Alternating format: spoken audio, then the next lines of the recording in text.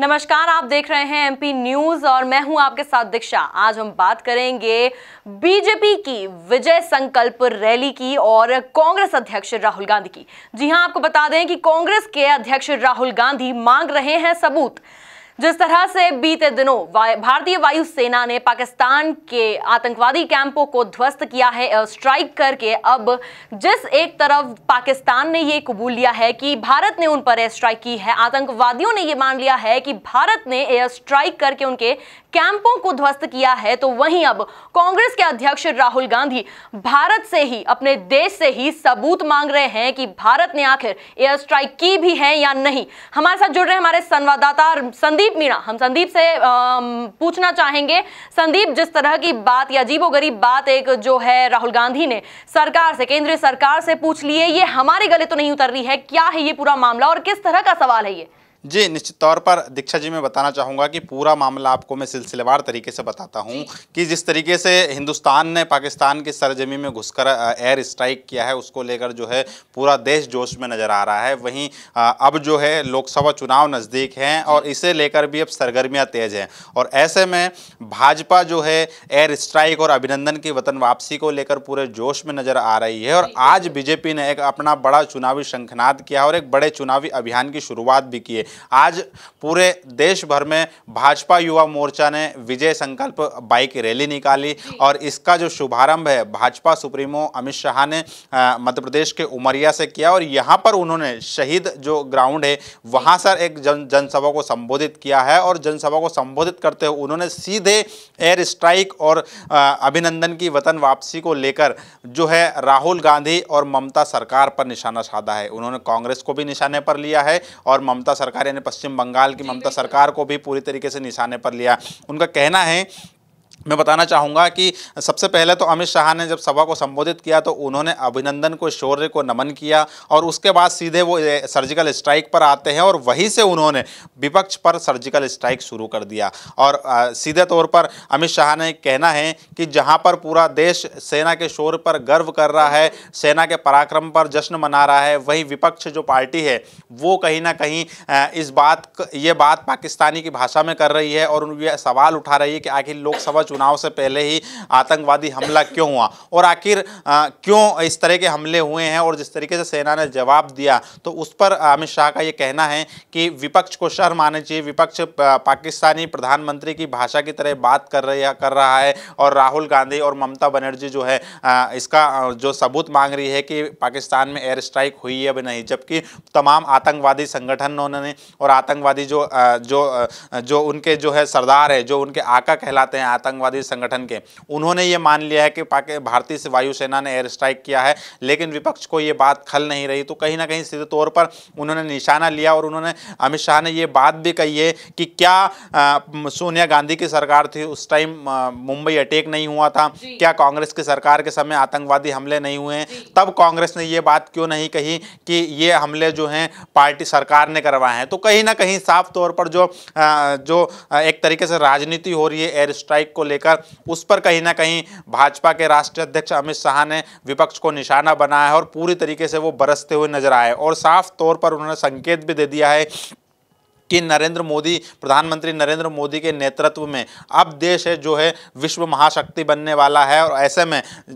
पाकिस्तान को उसी भाषा में जवाब दिया जाएगा जिस भाषा में वो बात करता है। जी, बिल्कुल, जिस तरह से पुलवामा में हुए 14 फरवरी के हमले के बाद जब तक हमारी सेना कोई स्टेप नहीं उठा रही थी, तब तक प्रधानमंत्री मोदी पर लगातार जो है विपक्ष ने काफ़ी तंज कसे काफ़ी बार कहा गया कि मोदी जी जो है, अपना छप्पन इंच का सीना लेके घूमते हैं। हैं लेकिन वो दुश्मन देश पर कोई कार्रवाई नहीं कर पा रहे हैं। और एक बार अब फिर जब प्रधानमंत्री मोदी ने ऐसा कड़ा एक स्टेप लिया है, कड़ी कार्रवाई और मुँह तोड़ जवाब दिया है दुश्मन देश को तो एक बार फिर से उन्होंने उन पर सवाल खड़े कर दिए। और इससे पहले भी हमें बीते दिनों जो राजस्व एवं परिवहन मंत्री हैं गोविंद सिंह राजपूत, वो भी बीजेपी पर जो है कटाक्ष करते हुए नज़र आए थे। तो कहीं ना कहीं इससे ये साफ़ नज़र आ रहा है कि लोकसभा चुनाव जिस तरह से नज़दीक आते जा रहे हैं, उसके मद्देनजर अब एक बार फिर से राजनीति जो है गर्म गरमाती जा रही है। संदीप, मैं आपसे पूछना चाहूँगी कि जिस तरह से आपने अपनी जानकारी में बताया कि इससे पहले भी सोनिया गांधी के राज में भी एक बार पहले भी आतंकवादी हमला हो चुका है, पर कांग्रेस पार्टी ने कभी ऐसा कोई कड़ा कदम नहीं उठाया,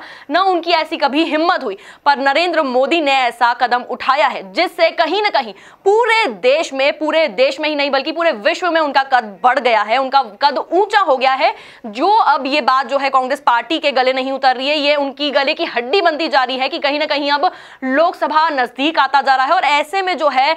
मोदी जी की बढ़ती लोकप्रियता कहीं ना कहीं उन्हें जो है दुखदाई हो सकती है। तो क्या राजनीति गर्माती हुई नज़र आ रही है और किस तरह की प्रतिक्रिया अब दिखाई देगी कांग्रेस की तरफ़ से इस पर जी दीक्षा मैं बताना चाहूँगा कि लोकसभा चुनाव है और जिस तरीके से पुलवामा अटैक हुआ था तो कहीं ना कहीं विपक्ष के विपक्ष जो पूरा एकजुट होकर पूरी तरीके से मोदी सरकार पर हमलावर रुख तैयार कर रहा था। बार बार पाकिस्तान को मुँह तोड़ जवाब देने की बात की जा रही थी और छप्पन इंच को लेकर भी तरह तरह के तंज कसे गए लेकिन जब पुलवामा अटैक के बारह दिन बाद जब भारत की जो है वायुसेना पाकिस्तान की सीमा में घुसकर सर्जिकल स्ट्राइक करती है और आतंकी कैंपों को ध्वस्त करती है तो उसके बाद जो तमाम तरीके से जो प्रतिक्रिया आती है वो ये देखने को मिलती है कि पूरे देश में एक जश्न का माहौल देखने को मिलता है और वहीं कहीं ना कहीं इस पूरे मामले पर विपक्ष भी एकजुट होता हुआ नज़र आता है और मोदी सरकार का समर्थन भी करते हुए नज़र आता है। लेकिन कहीं ना कहीं एक सियासी गलियारों के दबे कोने एक आवाज़ ये भी निकलती है और ये सवाल भी उठने लगते हैं कि क्या वाकई में पाकिस्तान में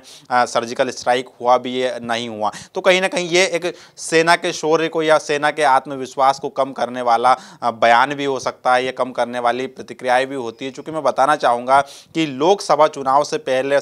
भारतीय सेना का एयर स्ट्राइक करना और उसके बाद में केंद्र में नरेंद्र मोदी का होना तो कहीं ना कहीं ये भाजपा के लिए एक बड़ा सियासी ऑक्सीजन भी बनती हुई नज़र आ रही है और जिसके बाद अब जो है पूरी भाजपा जोश में नज़र आ रही है और मैं बताना चाहूँगा, आज जो बाइक रैली विजय संकल्प बाइक रैली हुई है, ये विजय संकल्प बाइक रैली कम बल्कि अभिनंदन की वतन वापसी पर शौर्य रैली ज़्यादा लग रही थी, क्योंकि पूरे समय यहाँ पर एक सेना के नारेबाजी हो रही थी, सेना के जवान को लेकर नारेबाजी की रही थी, हो रही थी, अभिनंदन के शौर्य को माना जा रहा था, यहाँ पर पूरे भाजपा जो है भगवा रंग में नज़र हुए, नज़र आ रही थी पूरी सड़कें। उस दौरान भाजपा के जो जितने भी कार्यकर्ता थे, वो सेना के जो है, सेना के समर्थन में नारेबाजी कर रहे थे, अभिनंदन के जज्बे को सलाम करते हुए नज़र आ रहे थे। तो ये ये वाकई में दिलचस्प है, क्योंकि लोकसभा चुनाव से पहले मोदी सरकार को एक बड़ा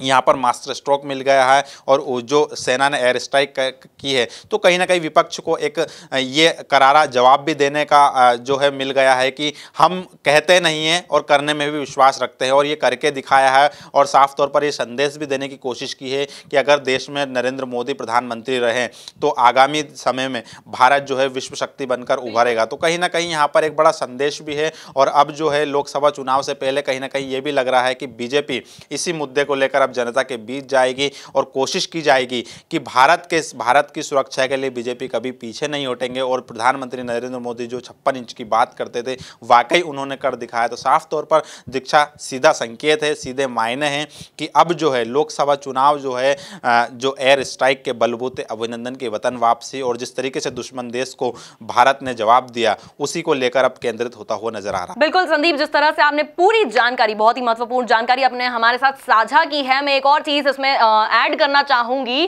कि जिस तरह से ये पूरी एयर स्ट्राइक हुई है, उसके बाद मोदी जी ने ये क्लियर ऐलान कर दिया था कि वो कभी भी इस एयर स्ट्राइक को, आतंकवाद को लेकर लोकसभा चुनाव में वोट नहीं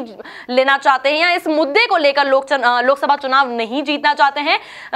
क्योंकि बार बार ये कहा जा रहा था कि ये एक संवेदनशील मुद्दा है, देश से जुड़ा मुद्दा है, जिसे, जिसमें राजनीति नहीं आनी चाहिए, क्योंकि इससे सेना का मनोबल जिस तरह से आपने बताया कि कम होगा ही होगा तो उस तरह से अब मोदी जी ने ऐलान कर दिया है कि इसको एक मुद्दा बनाकर लोकसभा चुनाव वो नहीं जीतेंगे। तो वहीं अगर हम विपक्ष कांग्रेस पार्टी की बात करें तो वो कहीं ना कहीं इसे मुद्दा बनाते हुए इसे एक हथियार की तरह बीजेपी के खिलाफ यूज़ करती हुई नज़र आ रही है। ये था अब का, अब तक का एक हॉट इशू जो एमपी न्यूज़ के थ्रू हमने आपके सामने पेश किया है। ताज़ा खबरों के लिए आप बने रहिए एमपी न्यूज़ के साथ। नमस्कार।